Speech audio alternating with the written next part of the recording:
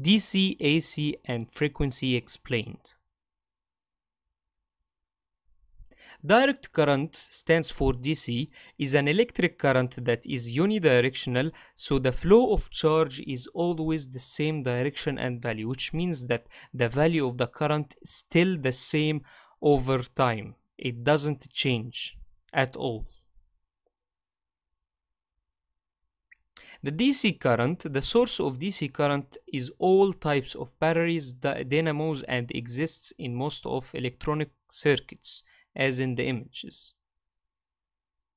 Alternating current stands for AC, meaning voltage or current that changes its direction and value over time. As in the image, explain that the current and the voltage, its value changes with time and construct a wave. AC current sources are generators, current transmissions, towers, and our houses. As in the image, you can see that these are the sources of alternating current. Frequency describes the number of waves that pass a fixed place in one second and it measured in hertz.